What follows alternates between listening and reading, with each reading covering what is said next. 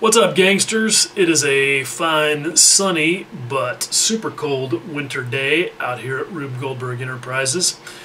And I think I'm going to do a video uh, that's actually been requested. Um, that does happen from time to time, uh, uh, at least when it coincides with something that I've thought about doing anyway. And this is a good topic, I think. Polishing canopies. Uh, it seems to come up frequently, um, and it came up the other day in Scale Modelers Critique Group.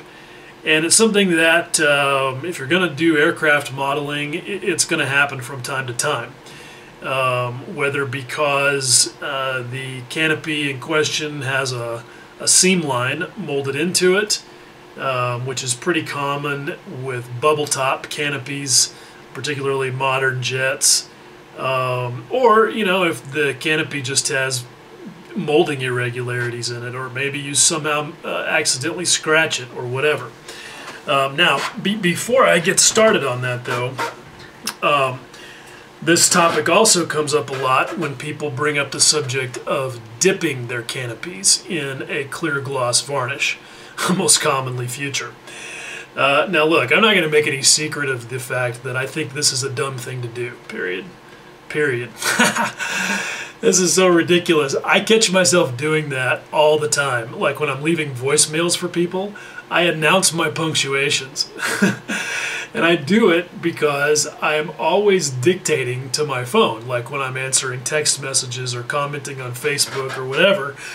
And you have to tell it that you want a period or an exclamation mark. And it just has become ingrained in my brain that sometimes I find myself actually uh, including it in.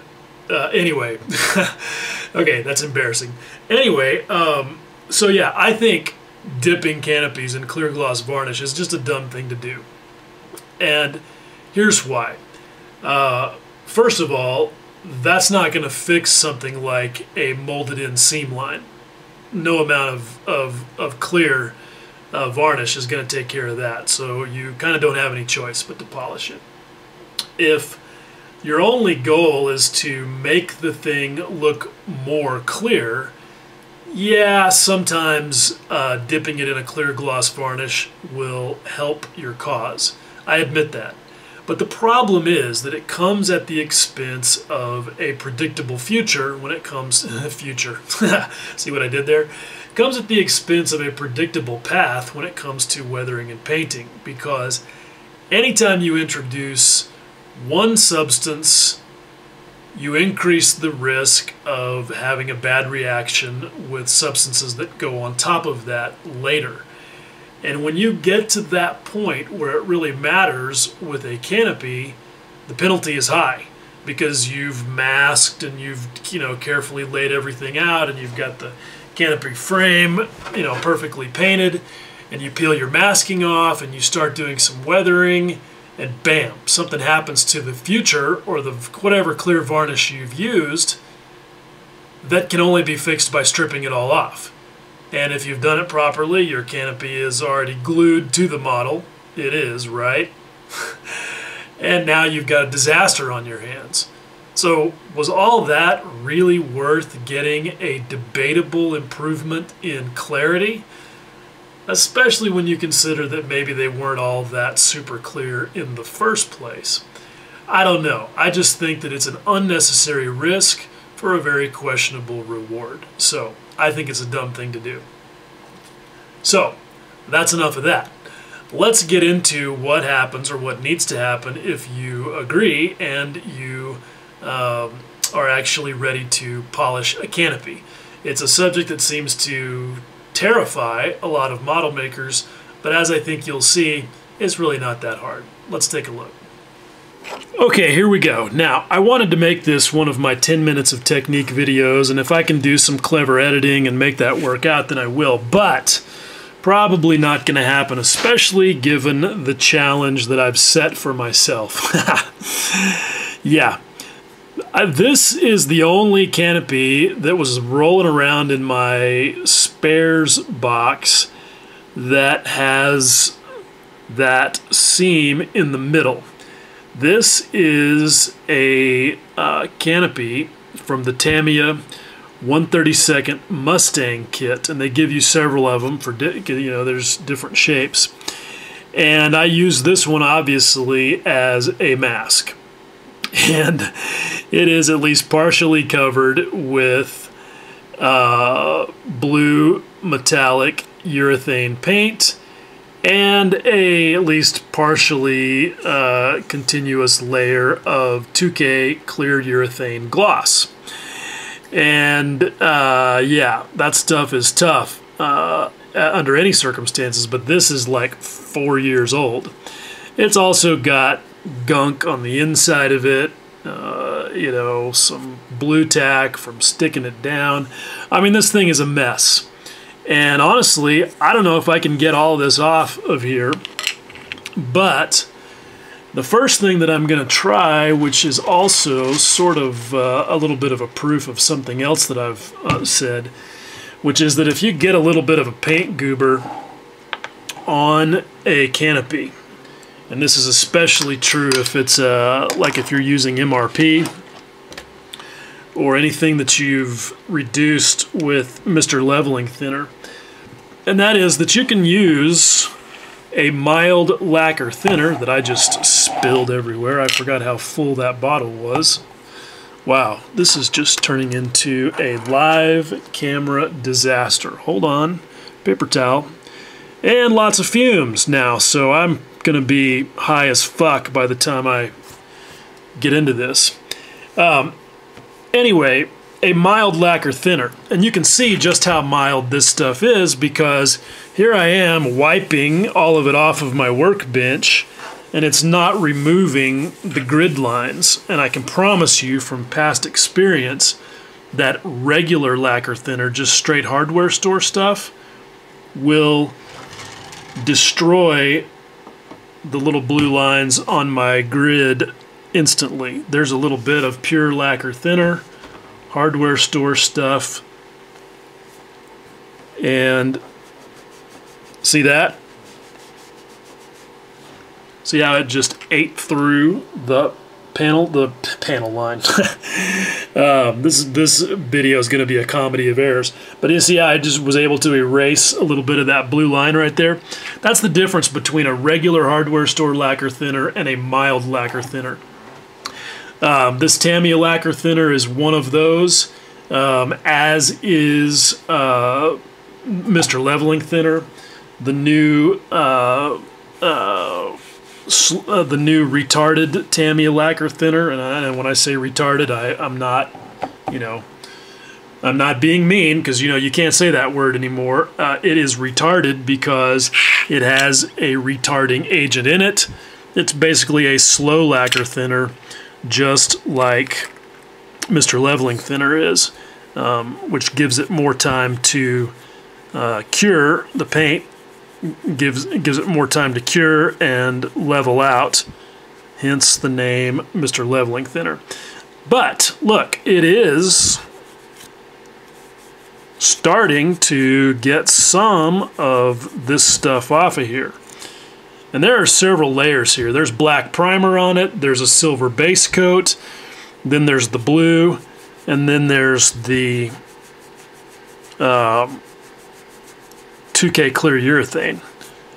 But I don't know that I'm going to get through all of that, and I'm not going to sit here on video for 10 minutes or however long it's going to take working on this uh, and making you guys watch. So I'm going to see what I can do, and one way or the other, I mean, I may end up just soaking this thing in brake fluid for a while, but one way or the other, when I come back, I will have a canopy that uh, we can try to polish. Okay, so I went and sprayed some Easy Off on it because that's what I had handy, and Easy Off is pretty stout. Um, the active ingredient in Easy Off is Sodium hydroxide, also known as lye or caustic soda. It's what gangsters use to dissolve bodies, which is also why I have these little finger protectors on. It's good for stripping chrome, works pretty fast. Some people say it works for paint. I had some, didn't have any brake fluid in, in uh, on hand. But I've let it sit there for about as long as it took me to go and use my Proxxon with a little tiny dental burr that it may or may not focus on. Isn't that cool? Get that free from my dentist. And grind a an oval hole in the back of this thing that I'm working on and add an antenna from an old Airfix Spitfire kit. This is a futuristic robot kind of thing. That translated to about 15 minutes. And here we have it. And um, I, I'm just showing you this because I, you know, testing on camera and all that. I don't know if Easy Off is going to do the job. The uh, mild lacquer thinner was not doing it. Um, and the point that I was trying to make before I got distracted by spilling it all over my workbench is that when you're using a mild lacquer thinner, it will not generally harm clear plastic as long as you're quick and gentle about it. If you scrub a lot, yeah, you can turn the clear plastic cloudy with it. Um, and I'll show you that um, once we get all this other gunk off of here. But in general, the point I was trying to make is that a mild lacquer thinner is a good correction fluid for paint mistakes on clear plastic, which seems counterintuitive because regular lacquer thinner obviously should never come anywhere near styrene of any kind, really, but definitely not clear plastic. So Anyway, I'm going to continue working with this and see what it takes to get this off of here, and we'll come back later. Okay, so it's about uh, 5 o'clock in the evening, and Operation Strip the Paint from the canopy uh, has been going on off and on all afternoon, and as you can see, I have all of the paint off. Uh, and let me tell you kind of how that went. The uh, uh, oven cleaner did basically nothing to the 2K clear urethane. Uh, so you can take comfort in knowing that if you ever crash your car into a tanker truck full of Easy Off, that while your body will be completely dissolved, your paint will be fine. I don't know how that works, but hey, uh, it is what it is. Um, at any rate, uh, since that didn't work, and I let it sit in there for like an hour. Um, I washed that off and then just threw it into some isopropyl alcohol. Um, and lo and behold, within about an hour, the stuff started flaking off. And uh, I just, you know, let it sit in there and I'd scrub it a little bit. And as soon as some more of it wrinkled up, I'd kind of turn the thing around and let it soak some more and then, and then get the, you know, scrub the rest of it off. And um, so there you go. The material, uh, the uh, uh, the chemical that is very clearly uh, going to dissolve your skin doesn't work at all. But the material that is made for rubbing on your skin takes the uh, stuff right off. So again, I don't know how that works, but hey, chemistry is weird sometimes. At any rate, you can see that while the paint is gone, it is definitely not a nice clear canopy. And so this will be a, a really good polishing challenge. Uh, and I will tackle that tomorrow when uh, the sun is out and I'm feeling fresh. Okay, so here we go. It's the next morning, and this little canopy is pretty forlorn looking, but at least all of the paint is off. Um, but as you can see, we still have some staining, and that's an effect from using lacquers, and that's that's a good demonstration of what lacquers do. They kind of etch themselves into the uh, surface of the styrene, uh, you know, so you get a better bond than you do with something that's just an acrylic, which basically just lays a skin over it. So uh, at any rate, all the paint is off of there. Here's what I think is kind of funny, though, is after all of that gyrating and uh, dipping and stripping and so forth, what's left? This chunk of Blu Tack. I'm pretty sure that stuff is like a cockroach. It could survive a nuclear war. Um, but I'm going to go ahead and dig that off of there with my thumbnail and um, uh, then we'll get to the polishing attempt. And eh, you know, I don't know. I'm I'm not going to bet any money uh, yet on how successful that's going to be. Um, but you know, it won't be a total waste of time because if nothing else, we've learned a little bit about uh, an extreme stripping situation, and I'm not talking about something that would happen at Spearmint Rhino in Dallas. this was uh, really, I was, I was honestly kind of curious what it would take to get that, uh, get those three layers of paint plus 2K clear urethane off of there. Uh, but the first thing I'm going to do is remove this nub that's there for an antenna wire, I think. And then we'll go after that seam line. Now the reason that seam line is there, I don't I think I sort of started to explain that before and then got sidetracked. Um, but that's because this thing has to be uh, slide molded or molded with lifters because see it's got the shape of it and this is common with a lot of these bubble canopies the shape of it see how it bulges out on the sides that creates an undercut for the mold opening up and down this way so the only solution for that is that these two part that the sides of the mold right here on the left and the right have to move sideways for the tool to open and that means that there's going to be a split in the mold right there, and that's what creates that parting line witness. And the first thing I'm going to do to get rid of that, and I'm going to try and stay on camera. You guys know I suck at this, but I'll do my best. Anyway, the first thing I'm going to do to get rid of that is just adze it off of there with uh, this X-Acto number 10 blade that I love for this sort of thing. And it doesn't take much because that's not a very that's not a very proud little ridge. Um, so, you know, don't go crazy with this part. Don't create any more work for yourself than necessary. I do this kind of thing with my Optivisor on and it lets me see pretty directly how my progress is going.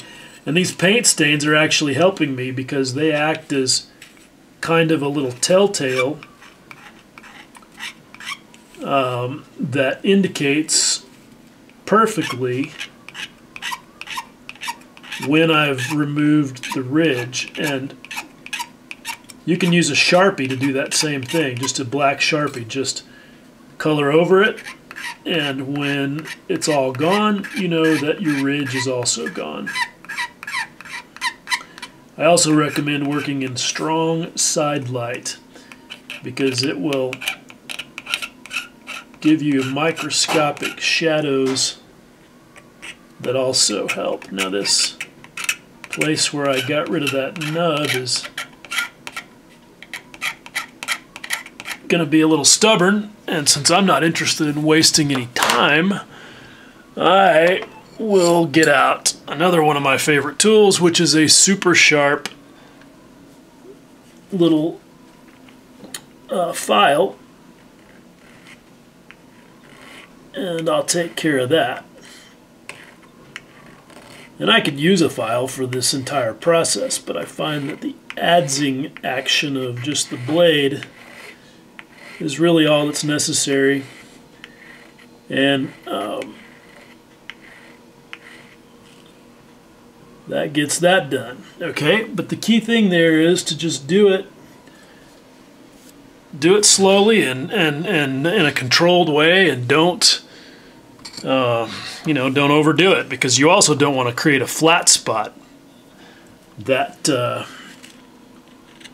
will show up later.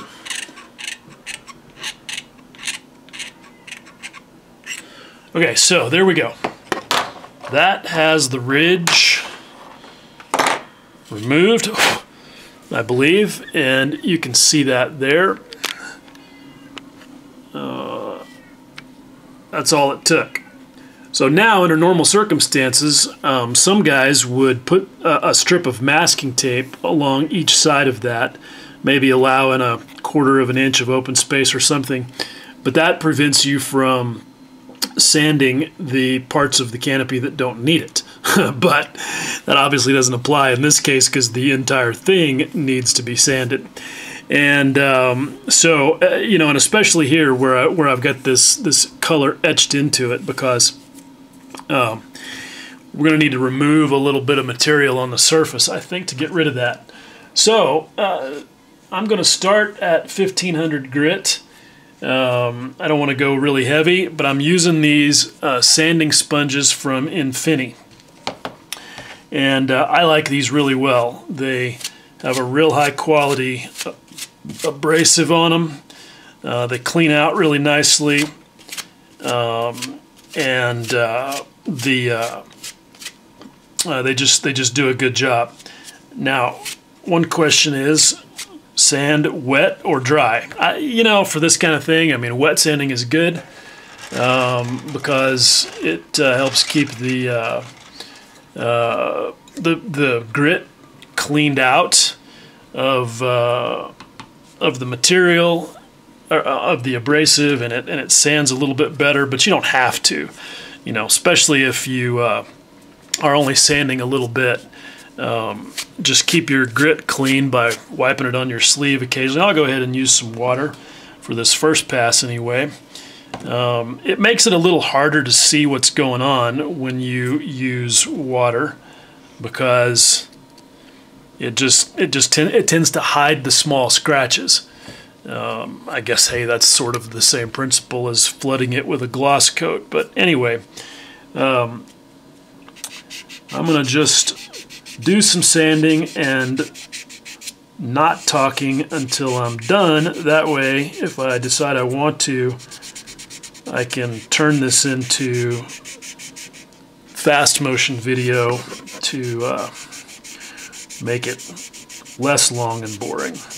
Uh, but one thing I will say is that this is also a point where some people will choose to stuff the inside of the canopy full of uh, something like silly putty, especially on one that's really nice and thin like this, uh, so that it minimizes the risk of scratching or uh, sorry, scratching of, of breaking it, cracking it is what I meant to say. It's not a requirement, but it's certainly one of those things that if it makes you feel more confident, then by all means you should do it because you don't want to go through all this work only to break the thing in half and you know suffer all the pain from that. So at any rate, I'm just going to sand this out. And um, I'm going to go from 1500 to 2500 um, and then uh, I have a 4000 grit Infini buffing stick. And I predict that if this is going to work at all that by the time I get to the 4000 grit stick that it's going to be pretty well done um, but in looking at this now, I may find that I have to back up a little bit to a coarser grit actually, because I'm having a hard time getting that that blue stain to go away. I may have to, to take more material. I don't know. I'm just going to work on it. But at this point, it really is just elbow grease. And um, this first method that I'm going to do, I'm going to demonstrate without using any polishing compounds, um, but just using buffers. And you don't have to get these really nice Infini sanders and buffers. You know, you could use like just nail buffers from your local fingernail supply, whatever. Um, so, you know, people do that with success. I just happen to really like these sanders. I think they do a great job. I like that they have the grit labeled on them. Um, and uh, so anyway, um, but but the first first way I'm going to demonstrate is just using these hand tools. Then I'm going to do it using a polishing compound that I like. Um, and you'll see the difference. Música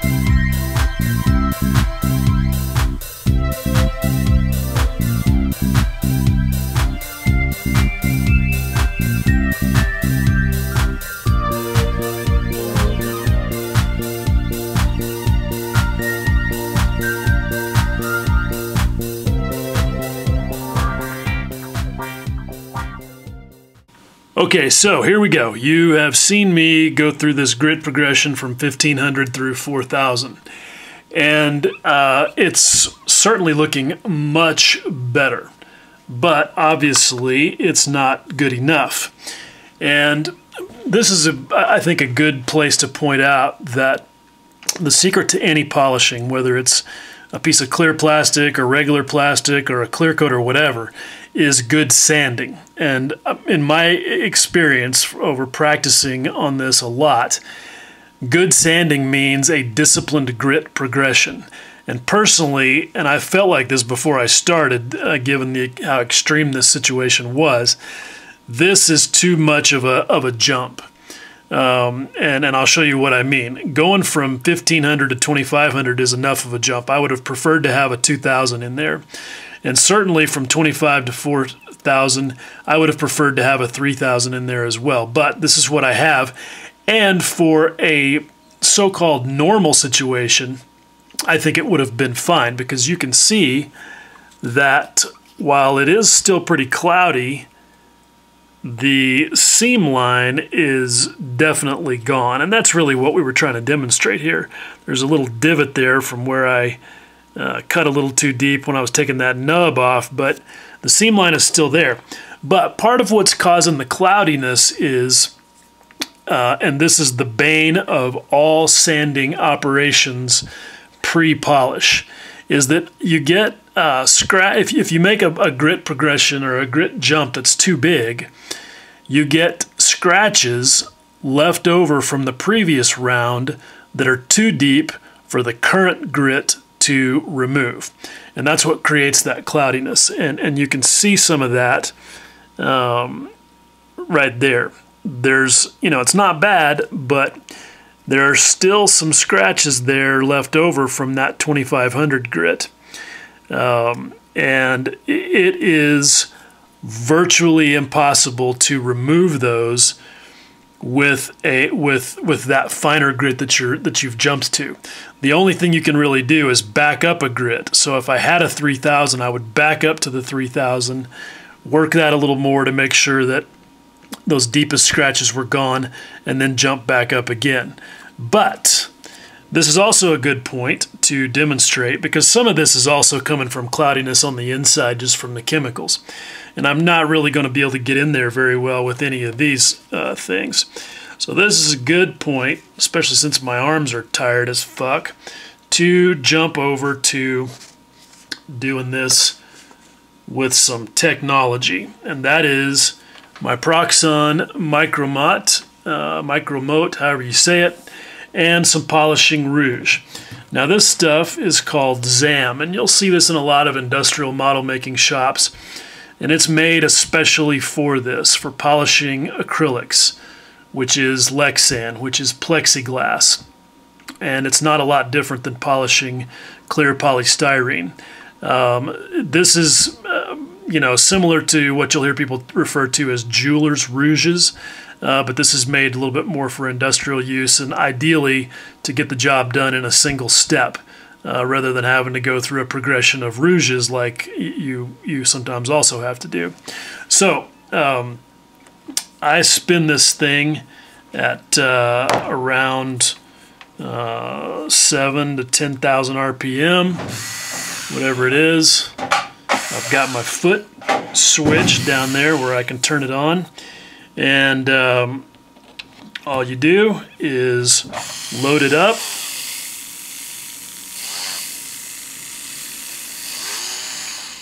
And this stuff is nice because it doesn't go flying all over the place nearly as much as a liquid compound does, like Novus or the Tamiya compounds, or even a paste compound like like Scholl's or something.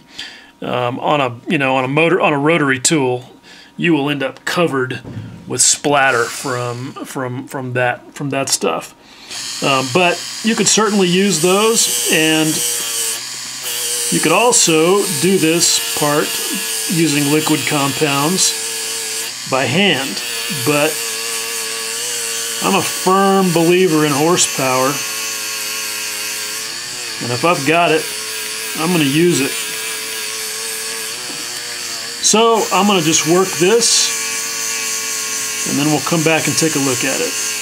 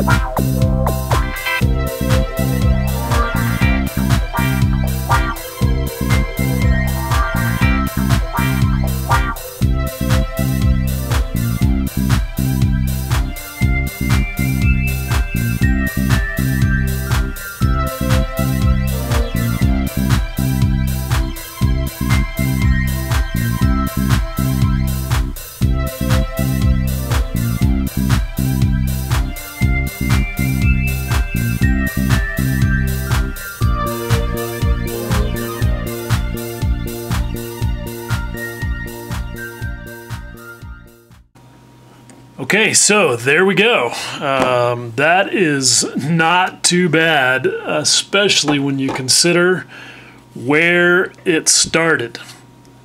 That is obviously Not perfect. There's a scratch on the inside there, I think, that you can see there that's that I can't really get to easily. That's one of those situations where you got to get clever with with tweezers and things and doing it by hand to uh, to get at something that's down inside like that.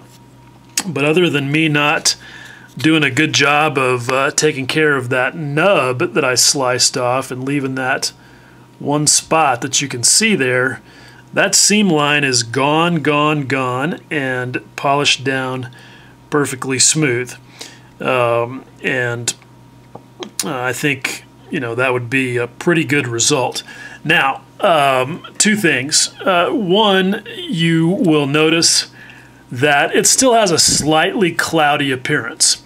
Um, the, the, I've learned that there's a limit, and this is true with clear plastic or, or clear coats. There's a limit um, to just how how perfect you're going to get it. What you have to keep in mind is on a clear part like this that it's molded in a, a tool steel injection mold that has been diamond polished to the utmost surface finish by people who do it for a living using all the best tools. Um, and the likelihood that you're going to return a clear part to that perfect of a condition um, is is just slim because no matter how good you do, you still basically have really, really, really, really, really microscopic scratches in that surface because you know, polishing compounds at the end of the day are abrasives. And, um, you know, it is what it is. But if you come back and buff it with a, with a, with a dry, soft cloth like I'm doing here to make sure that uh, you've got any residue of the rouge or the polishing compounds or, or whatever removed from it, um, then I think you'll find that uh, you get a, a good result. Um, and if you have gotten to this point, because this happens, you know, where sometimes you will work and work and work and you'll get down to the end and you'll go, man, that looks good. And then you look really, really close and you see that you still have a, a little scratch someplace. Well, no big deal. Just back up to the right sanding grit and fix it and, and go back. I mean, this really, once you do this, you'll realize that it really isn't any magic, it isn't anything that's magic. It's just really elbow grease and just work and having the right tools and being disciplined. Um, and, and, speaking of that, uh, the second thing I wanted to mention was if you're going to use a rotary tool like this, one thing you need to always be conscious of is grabbing an edge because that's when the part will go flying off into space or even worse, get snapped in half. And what I mean is that the uh, this tool, okay, is you can see is rotating uh, clockwise, all right? So the bottom edge is coming up like that. And what you want to avoid when you're polishing like right here is backing so far up that as that lower side of the wheel is coming up, it catches on that edge right there and bonk goes flinging it out of your hand or, or breaks it or whatever. So just always be conscious of where your edges are relative to the rotation of the wheel and adjust the orientation of the workpiece accordingly so that you don't do that. But again, I think, I mean, I'm stoked. This is obviously a very extreme situation, but hey, I think this came out pretty good. If we can do that good on a piece that was this far gone, you should be able to handle a much more normal situation. Okay, there you go. Uh, that is how to polish a canopy. Uh, hopefully you can see that it really isn't that big of a deal. Uh, it is, like I said, it's just more about elbow grease and discipline than it is about any sort of magical skill set. Um, hopefully I can go off now and edit this thing and it won't be, you know, 300 hours long, but kind of is what it is. I mean, this is just work that takes time and it takes time to film it and, and explain it. So, uh, but at any rate, uh, as always, I hope you guys found this useful. And uh, that it will make you less terrified of uh, polishing a canopy the next time you need to do it. All right, guys, as always, much love.